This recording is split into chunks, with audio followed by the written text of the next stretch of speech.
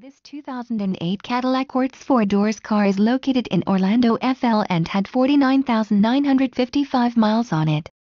This 4 Doors car has a beautiful red exterior paint color which is complemented by a gray interior color.